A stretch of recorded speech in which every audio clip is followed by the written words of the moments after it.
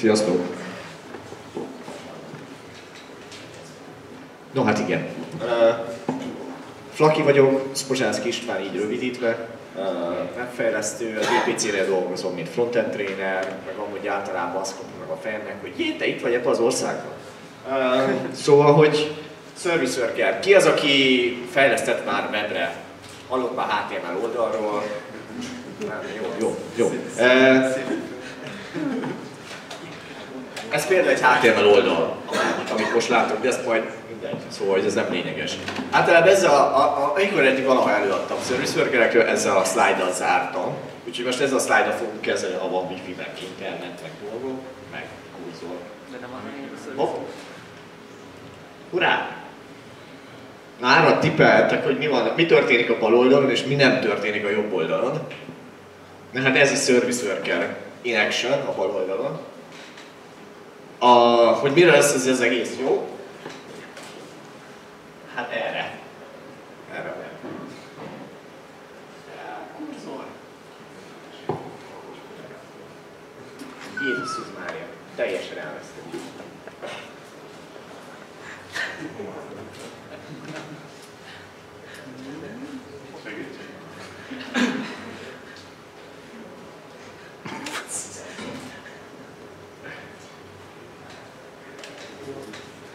De igen, segítsen. Na most...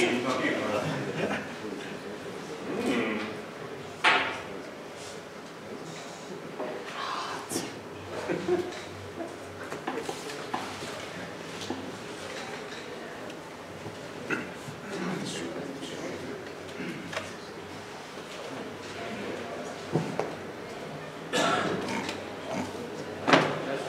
Urá!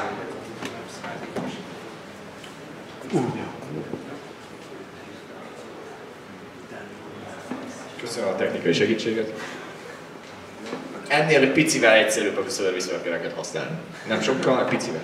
Mi a service worker? Uh, ki az, aki dolgozott már webworkerekkel? Hurrá! Van három ember. A többieknek elmondom, a webworker az arra való, hogy mivel minden a böngészőben, a mainframe-en zajlik, azaz minden, amit a böngészőben csináltok, láttatok már megállni, egérmutató kurzort, meg ilyesmi. Ez azért van, mert a böngész egy egyszálas dolog. Erre találták ki a webworkereket, ami azt jelenti, hogy külön szával lehet futtatni mindenféle dolgokat. A webworkernek és a, a mondjuk egy szerver, vagy egy szerver proxy-nak az ötvözéséből jött létre ez a service worker dolog, a, amikor őket kitalálták, az volt a lényeg, hogy volt ez az appcache, meg ilyesmi, amikor azt lehetett megcsinálni, hogy van egy weboldalad, de megmondod neki, hogy ezekre a fájlokra szükséged lesz, ezeket ő lementegeti magának, és akkor innentől kezdve a weboldal, ha nincsen kapcsolatot, tudod használni, és aki használ életében Gmail webes felületet, az már használt appcache-t is, ugyanis ezzel működött gyakorlatilag az offline weboldal 99%-a. Valaki egyszer kitalálta, hogy de jó lenne, hogyha többet tudnánk ezzel a dologgal több, több kontroll lenne fölött az egész dolog fölött, és kitalálták, hogy legyen egy ilyen dolog, hogy navigation controller, és csinálunk egy JavaScript scriptet, aminek megengedjük, hogy az összes internet irányába küldött kérést, mint egy ilyen beépülve, ilyen man in the middle-ként, egy ilyen közbülső emberként beépülve megvizsgálhassa ezeket a, a webszerver felé irányuló kéréseket, és mitől akár válaszolhasson is rájuk. Na ez volt az alapvető ötlet, tehát ezzel gyakorlatilag egy proxit hoztak létre, egy kliens oldali proxit, amit JavaScript segítségével tudtok fejleszteni. Ö, igen, drága barátom, Filnes tweetje az, a, ami most nem fog megjelenni számunkra. Ő mondta azt, hogy, hogy they are pretty damn powerful, mert hogy alapvetően ugye erre találták ki őket, hogy offline dolgok csinálják az emberek velük és, és egyik tweet sem fog betölteni. Tökéletes. Szóval, hogy uh, 2016 van. Uh, de hogy egy tweetet nem tud betölteni egy webfőkészülben. Tehát, hogy itt tartunk a technológián. Uh, tehát, hogy az, az van, ugye már, hogy, hogy uh, nem egy új technológia ez, már, már nem először adok róla elő, és, és amikor ezt kitvíteltem, hogy fogok ezekről az új service worker technológiáról előadni, valaki az orromá is dörgölte, hogy hát azért az annyira már nem új, Viszont például a Firefox-ban most a hónap végén fog megérkezni, a Chrome-ban elég régóta használható, edge is eléggé dolgoznak rajta, és már vannak WebKit implementáció is, hát ugye ismerjük az Apple, meg az évente kikerül a Safari-kat, hogy ez most mikor lesz ebből WebKit használható. Polifilezni nem nagyon lehet, úgyhogy, úgyhogy, de hogy pont az adaption része, pont az, hogy gyakorlatilag minden uh, stabil Chrome böngészőben használható, azért már lehet vele dolgokat csinálni. Milyen dolgokat lehet vele csinálni, adódik a kérdés. Az első például a, tehát hogy a, a Progressive Apps nevezetű dolog. Ha erre valaki hallott már, az jó, ha nem, akkor még a Chrome Dev Summitnak van egy, ja, a slide fel lesznek neten, szóval meg lehet nézegetni a videókat, ha valakit érdekel. A Chrome Dev Summiton mutatták be ezt az egész munkát, arról szól, hogy csináljuk weboldalakat, amik tökre megkülönböztetetlenek natív alkalmazásoktól. Ez azért nem hangzik rosszul, hogyha az ember webfejlesztő, mert hát tudjuk mindenki, hogy az iOS fejlesztők keresnek a legjobban, azért kiharapni egy szeretet ebbe a tortába nem hangzik rosszul. És a felébe is megcsinálták ezt a dolgot. A baloldali videó, ami meglátjuk, hogy elindul el. Nem indul el? Kiváló. Szóval, hogy ez a baloldali videó, ez egy pokédex.org nevezetű weboldalé lesz.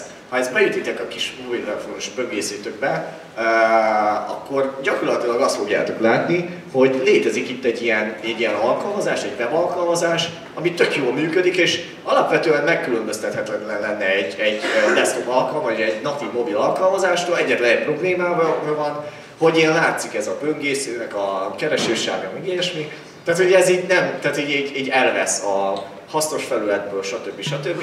Erre találták ki, hogy akkor hozzunk létre ilyen, egy ilyen webmanifest nevezetű dolgot, ami azt csinálja, hogy létrehoztak egy szöveges fájlt, a szöveges fájlt a böngésző felismeri, és amikor éppen ezen az oldalon jártok, akkor fel fogja ajánlani, hogy nem akartok kitenni egy ikont egy, egy a, a, a kezdőképernyőtökre.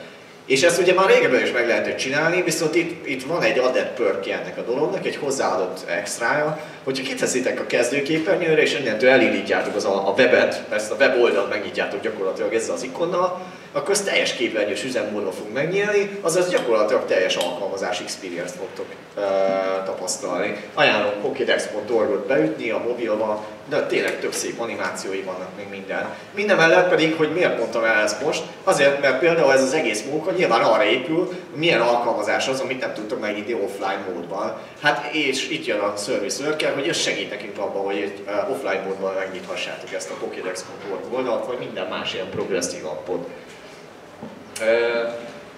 Igen, erre most nem is pazarok több időt, mert hogy amiért Robi barátomat, illetve az érdeklődését felkeltette ez az egész téma, az, az főleg egy cikk volt, amit nemrég néhány hónapja adtam ki. A Mozilla-val volt egy ilyen közös kutatásunk vagy researchünk, aminek során létrehoztam egy, egy ilyen ugye mi, mi történik? Van egy weboldalatok, amiben fut egy kliens, egy JavaScript oldal, amivel el tudtok kapni a weboldalaton mindenféle webkérést. Ez nagyon sok lehetőséget felvet abban a pillanatban, hogy elkezdtek egy kicsit out of the box gondolkodni, és fel is soroltam egy néhányan. Például van egy weboldalatok, egy kliens oldali single page alkalmazás, az ugye azt csinálgatja, hogy ilyen templétekből renderelget dolgokat, meg ilyesmi, és ezeket megjeleníti. Nyilván egy mobilon, meg hát desktopon is természetesen, ez azért elég sok energiát, erőforrást elvisz. Itt akkor uh, meg lehet azt csinálni, hogy a már lerenderelt weboldal, ugye a böngésző memóriájában ez nem más, mint egy HTML oldal.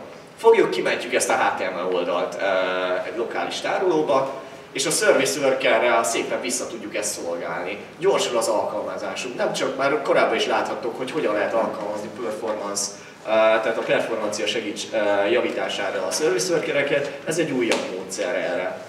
Majd mi van akkor, hogyha van egy tök jó új képformátum, vagy, vagy éppen tömörítési formátum, és ezt jó lenne használni, de hát a, ugye a WebP-t egy-két böngésző támogatja, én a BPG nevezetű HFC-t használó képformátumot polifilleztem ezzel a dologgal. Mi történik ilyenkor, amikor polifillezel képformátumon? Hát általában az van, hogy a böngésze valahogy ajax letölti ezt a képfájlt, aztán canvasra valahogy kirendereli, miközben iszonyatosan teker háttérbe a JavaScript valamilyen kitömörítő algoritmussal. A Service Worker ezt annyiban egyszerűsíti le, hogy írsz egy Service Worker-t, ami ugye a háttérben fut a weboldalodnak, és ugyanezt a dolgot csinálja ő is, a képet dekódolni kell, eleve a service worker már tudja úgy kesselni a képet, hogy azt egy JPEG formátumba menti el. Azaz, hogyha a böngésző nem támogatja a BPG formátumot, vagy azt a formátumot, amit kérsz, ő, meg, ő hiába kéri a böngészőre a, a forráskodba a kérés egy BPG formátumot kér, Eleve a service worker detektálja, hogy nem tudja ezt a formátumot uh, alkalmazni, és ezért vissza uh, letölti a fájlt, uh, átkonvertálja és kiszolgálni már, már a JPEG fájl fogja. Miért jó ez? Mert a következő betöltéskor nem kell újra átdekódolni a képet, hanem a cacheből a JPEG formátumot tudja ki, kiszolgálni. És gyakorlatilag a weboldalatokban semmit nem kell módosítani, csak, csak is a service workeretekben.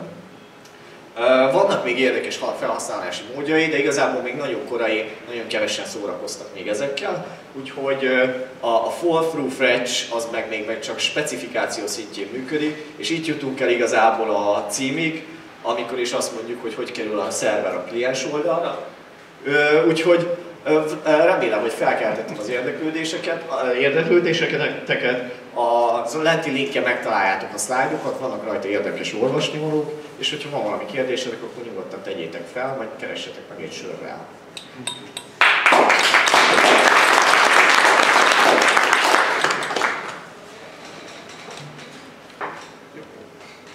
Na, örök kérdezőnk.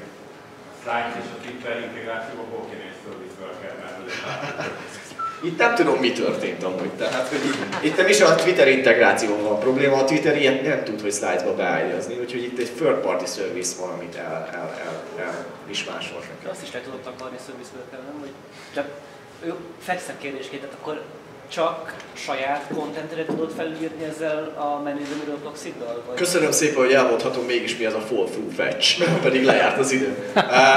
A lényeg a lényeg, a service az csak a saját weboldaladnál fut, viszont a saját weboldalad minden kimenő kérését kiszolgálja, még hogyha az más third party webszerverre irányul is. Itt jön a probléma az, hogy mi van, hogyha neked valami CDN-ről, vagy mondjuk egy fontot akarsz letölteni, behozni valahonnan, tehát hogy akkor meg kell írnod neked is azt, hogy ezt a fontot is kesselje el. Nyilván alapvetően az, a, az egyik lehetőség az, hogy elkessel el a fontot, a másik lehetőség lesz a fall through fetch, ami gyakorlatilag azt jelenti, hogy a CDN service workerét fogod használni. Azaz a CDN létrehozhat egy service worker, amit a böngésző el fog tárolni. Ez a service worker szépen lementegeti a CDN-ről a tartalmakat, és ilyenkor nem a te service workeredbe kell ezeket a dolgokat megoldani, hanem az övéket fogod majd használni. Tehát, hogy alapvetően minden, amit a, a, a böngésződ a saját weboldalad egy kérésként megjelenít, azt a service le tudja kezelni, csak nem biztos, hogy ez így hatékony. Igen? Legyen még. Jó, uh hány service tud futni párhuzamosan? Van erre limit? Gyakorlatilag bármennyi, de, de nyilván tehát itt a, ahhoz, ahhoz ilyen widescreen adoption kéne, hogy itt pontos számokat lehessen mondani, meg hogy itt előbukjanak a, a nagyobb hibák, meg ilyesmi. Tehát, hogy ez azért még nagyon, a, itt a, a, ehhez képest még gyerekcipőben jár a technológia, hogy pontos. Tudjuk, hogy, hogy akkor hol vannak a határai technológiának. Elvileg nincsen probléma, ha, akár Ha berakom az oldalamra, akkor lehúzhatom az összes felhasználó gépére 20 giget. tehát a, a, még valami, tehát hogy a service worker önmagában nem tárol adatot, itt a böngésző oldali adattárolási technológiák, például IndexDB általában ez a fő, ennek pedig megvan, mindenféle kóták meg vannak határozva. Jó, még szerintem egy kérdés, és akkor a többiek pedig mellett. Igen? Ez egy security kérdés van fel bennem, hogy azt mondtad, hogy a példában, hogy a CDR-ről letöltött service worker fog futni Igen. az én oldalam Igen. Tómiában. Igen. Nem. A, a C, ezt úgy kell elképzelni, hogy van egy kliens oldali proxy, gyakorlatilag úgy kell elképzelni, mintha indítanál egy OGS szervert, ami egy API keresztül tudsz kommunikálni. Tehát ez a CDN is gyakorlatilag az, hogy ugyanazokat az apikat éred el, amiket a szerverről is elérnél, csak nem a szerver fogja kiszolgálni, hanem ez a kliens oldalon futó script a lokális memóriájából. Tehát ez nem kódot futtatsz, gyakorlatilag nem kódot futtatsz, hanem ugyanazt a technológiát replikálod kliens oldalon, mint amit a szerver szolgáltatna. Itt nem említettem meg, például ez tök, egy tök érdekes felhasználási módja, és bocsi. A service workeredben ugye megírhatod azt, hogy te lekesse valami IS-sorokat, meg adatokat az IndexDB-be, és a service worker, amikor nincsen hálózati kapcsolat, akkor egy keresési apit szolgál ki. Nyilván nem lesz olyan erős, mint hogyha, hogyha a szerveredről jönne, nem tudom, valamilyen adatbázisból, de egy valamilyen alapvető keresést már meg tudsz valósítani. És, és a kliens oldali kódodban megint nulla módosítást kell csinálnod, mert a service ugyanolyan ISO válaszokat fog visszaadni, mint amilyet a szerveredről adna. Ugyanez működik a Fall to Fetch-nél is. Köszönöm szépen, sörben.